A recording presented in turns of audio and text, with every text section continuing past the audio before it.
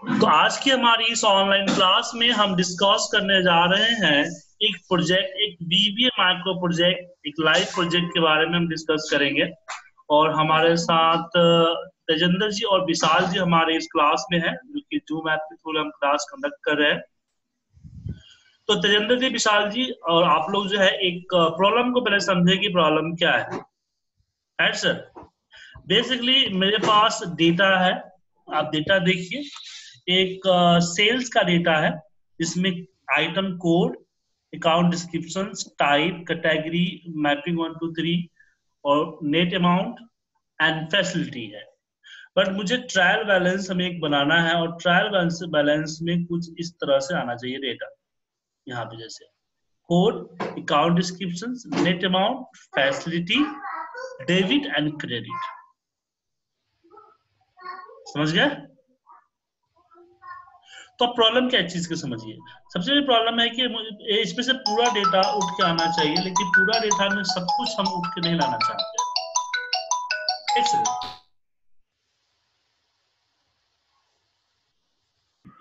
तो यहाँ पे क्या है कि हमें को टाइप तो उठाना ही है, हमें account description sorry type code code उठाना है अकाउंट डिस्क्रिप्शन उठाना है। उसके बाद इसमें से मुझे उठाना है अगला amount right sir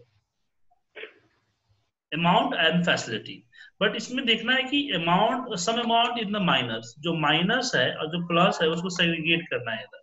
कि जो प्लस वाला अमाउंट है, वो डेबिट में जाएगा। जो निगेटिव अमाउंट है, वो क्रेडिट में जाएगा। बट जो निगेटिव फॉर्म में नहीं पॉजिटिव फॉर्म में जाएगा। समझ आएगा सर हाँ जी। तो करना क्या है? क्लियर है आप लोगों को? तेजेंद्र जी त्यागी जी? हाँ जी। ठीक है सर चलिए इसके लिए हम आपके साथ बनाते तो मैं यहाँ पे टीवी ट्रायल बैलेंस करता हूँ। हेडिंग में खुद से रख देता हूँ वरना आप हेडिंग रखने का भी कोड रख सकते हैं बट मैं खुद से यहाँ हेडिंग रख देता हूँ। चौथे नंबर से करता हूँ। और हमारे पास जो यहाँ पे है ट्रायल बैलेंस वगैरह जो भी है मैम लिखना चाहते हैं, आप लिख सकते हैं ऊपर अब यहाँ पे हम चलते हैं डेवलपर विजुअल बेसिक और इंसर्ट मॉड्यूल्स एक मॉड्यूल को इंसर्ट करते हैं, हम कोड करते हैं। यहाँ पे subject R R bracket open यहाँ पे डेटा सी के नाम से बनाते हैं। अब एक चीज़, एक प्रॉब्लम यहाँ पर और भी है कि जो जब कोड लिए, अब कोड डेटा में ज़रूरी नहीं कि स्टार्टिंग में होगा, वो कहीं भी हो सकता है। समझे? तो हेडिंग यहाँ पे सिक्वेंसली है, जहाँ पे ट्रायल बैलेंस हमें डेटा चाहिए, बट हमारे डेटा में सिक्वेंसली नहीं है। तो हमें फाइंड भी करना पड़ेगा। तो यहाँ पे एक लूप लगाता हूँ कि फोर जे इक्वल टू चले वन टू कितने हेडिंग है हमारे? हेडिंग हमारे पास है छ। तो छ में हमारा डेबिट क्रेडिट तो आ, नहीं आएगा। तो डेबिट क्रेडिट तो आपके डेटा में है ही नहीं। तो चार तो वन टू फोर टाइम चलेगा। नेक्स्ट जे उसके बाद मैं क्या कर रहा हूँ यहाँ पे? कर रहा हूँ डिम डी टी यहाँ पे एक एरे डिफाइन कर रहा हूँ one two four as a law और यहाँ पे करता हूँ डी टी और यहाँ पे देता हूँ J equal to application dot worksheet function dot match और यहाँ पे ब्रैकेट ओपन करते हैं और हमें क्या ढूंढना है? तो हमें ढूंढना है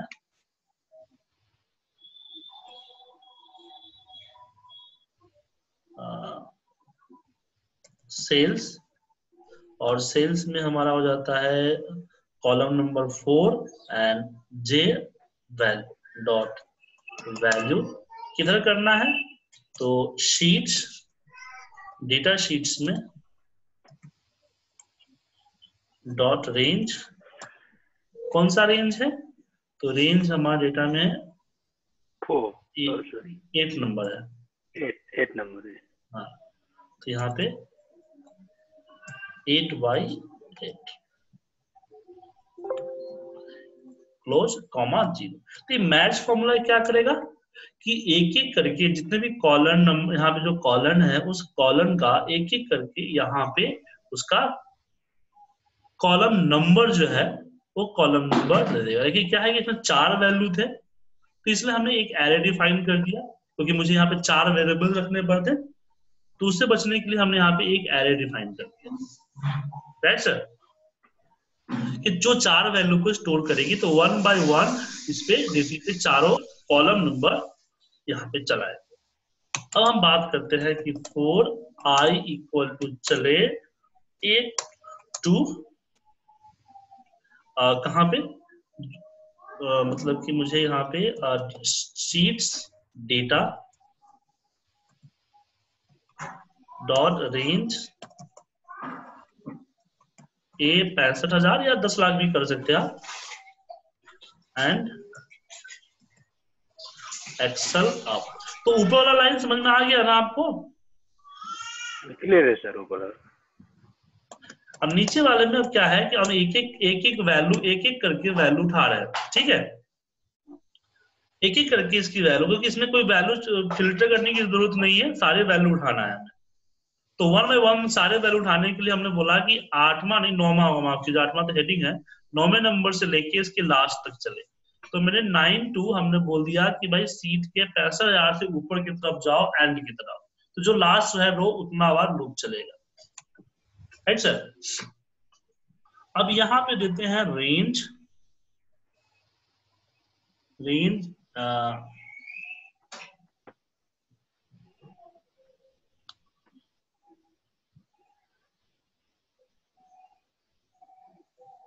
ये नहीं है। रेंज एबीसी भी कर सकते हैं, दिक्कत नहीं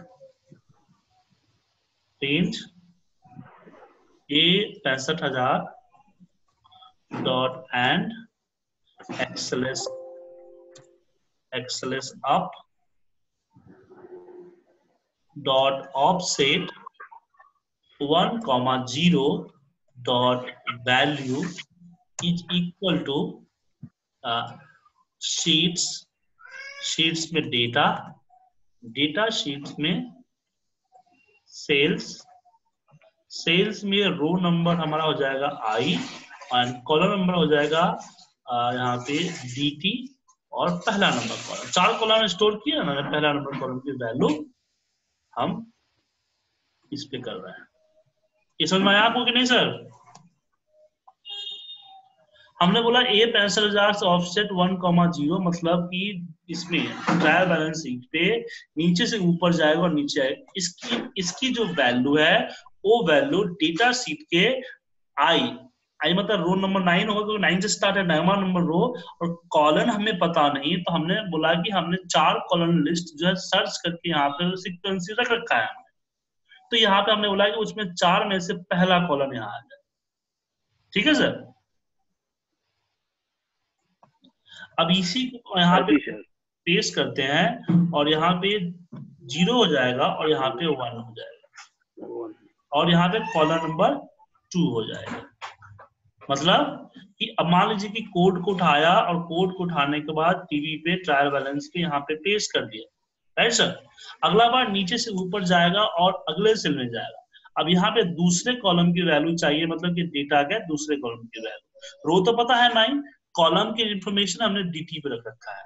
तो हमने बोला कि नाइन नंबर रो और डीटी का दूसरा नंबर कॉलम दे तो सेल को मिल जाएगा रो एंड कॉलम दोनों, उसकी वैल्यू उठा के पेश कर देगा, जो कि अकाउंट डिस्क्रिप्शन होगा। ये उठाएगा और यहाँ पे पेश कर देगा। ठीक है, दूसरे सेल अब बात करते हैं नेट अमाउंट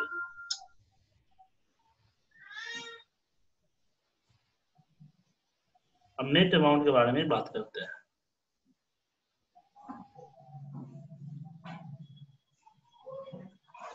अब नेट अमाउंट जो है, अब यहाँ बताता हूँ आपको क्या है। तो यहाँ पे इसी वैल्यू यहाँ पे इसी को हम कॉपी करते हैं और यहाँ पेस्ट करते हैं और यहाँ पे भी ज़ीरो की जगह पे हो जाएगा टू और यहाँ हो जाएगा हमारा थ्री तो तीसरी वैल्यू सेम पेस्ट कर देगा। अब तीसरी वैल्यू पेश करने के बाद हमारे पास क्या है? फैसिलिटी है। तो यहाँ भी हम देते हैं तीन के जगह पे, यहाँ पे हम चार। तीन देते हैं और यहाँ पे चार देते हैं। हमने चारों वैल्यू को पेस्ट कर दिया। कर दिया? तो मतलब कि फैसिलिटी तक हमारा पेस्ट हो गया डेटा मतलब कि यहाँ पे आपका नेट अमाउंट एंड फैसिलिटी दोनों हमारा पेस्ट हो गया।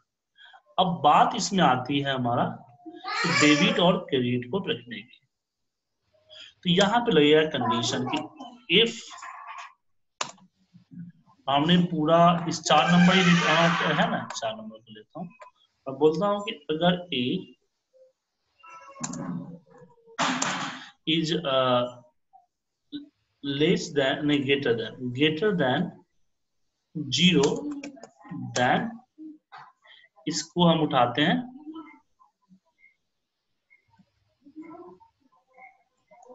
और इसमें हम थ्री की जगह फोर करते हैं, बाकी ये सब सेम रहेगा। और फिर यहाँ पे एंड एफ़ करते हैं। और बाकी यहाँ पे भी सेम होगा, बस ए जो है लेस देन की जगह पे ग्रेटर देन आ जाएगा ग्रेटर देन इक्वल टू आ जाएगा। और ए फोर के जगह पे हमारा फाइव हो जाएगा और सेल जो है, इसको एवीएस में कन्वर्ट करना है तो एवीएस ताकि माइनस प्लस में हो जाए। और हमने इसको रख दिया। और लास्ट में हम मैसेज देंगे कि M S G box data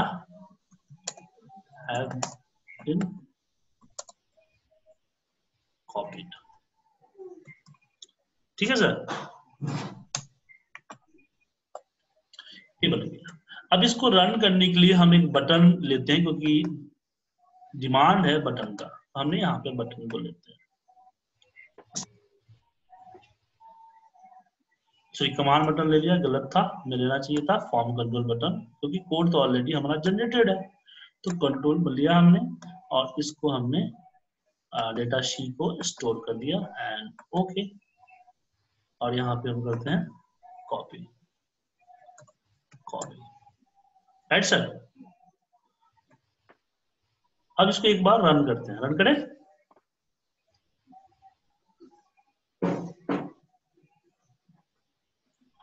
अच्छा डेबिट और क्रेडिट में इंट्री आ गई।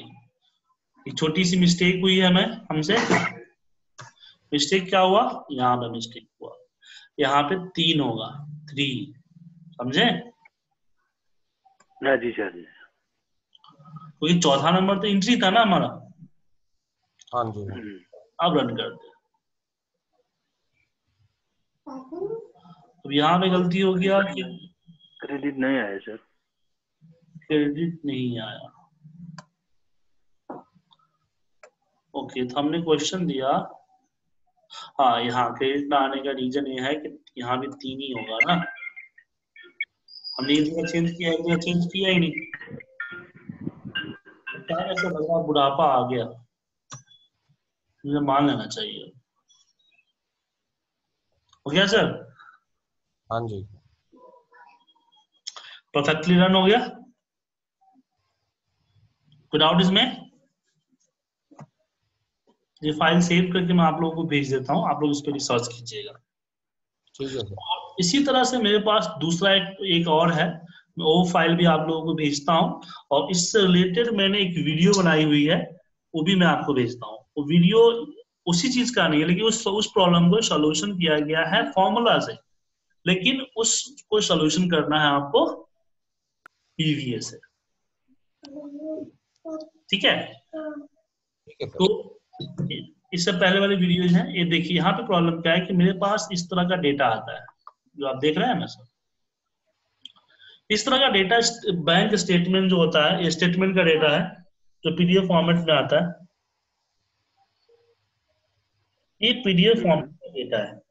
इस तरह से आया जिसमें ये आपका ये हो गया लॉक हो गया मटेरियल लॉक वगैरह हो गया लॉक हो गया मटेरियल लॉक इस तरह से पूरा आता है। अब इसको मुझे इस फॉर्मेट में रखना है जिसमें दिखा आपको? Serial number lock material material description register unit total value currency important ठीक है सर? तो इसको मैंने ऑफसेट फॉर्मूला से लाया हुआ है। अब ऑफसेट फॉर्मूला से मैंने कैसे लाया? मुझे पता है कि आप लोगों को उसके बारे में पता नहीं होगी। तो मैंने अभी वो वीडियोज़ मैंने आपको व्हाट्सअप किया है, उसको देख लीजिएगा। और साथ में मुझे इसी प्रॉब्लम को सॉल्यूशन देना है वीवीए के थ्रू जो कि आप लोगों का जॉब है। और मुझे आशा है कि आप लोग कर लेंगे। ठीक है सर। आशा रख सकता हूँ मैं आपसे सर। क्योंकि ये कोई मेरी मन कोई मेरे दिमाग से उपजा हुआ एग्ज़ाम्पल नहीं है। ये रियल टाइम प्रॉब्लम है। ये हो सकता है कि आपके ऑफ़िस का ये प्रॉब्लम हो। ठीक है? ठीक है। क्लास का यही फ़ायदा होता है कि हमारे जो प्रोजेक्ट होते हैं वो रियल टाइम प्रोजेक्ट होते हैं। बड़े बनाए पहले से रटे रटाए प्रोजेक्ट नहीं होते हैं। तो उस प्रोजेक्ट को पहले मैं खुद से करता हूँ फिर मैं आप लोगों के साथ सजेस्ट करता हूँ। खुद से इसलिए करता हूँ कि हो सकता है प्रोजेक्ट मुझसे भी ना हो। क्या सर? ठीक है। तो मिलते हैं अगली क्लास में। Okay bye thank you